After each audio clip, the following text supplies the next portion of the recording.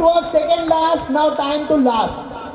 Now, it is our last dance performance. Last but the best dance performance.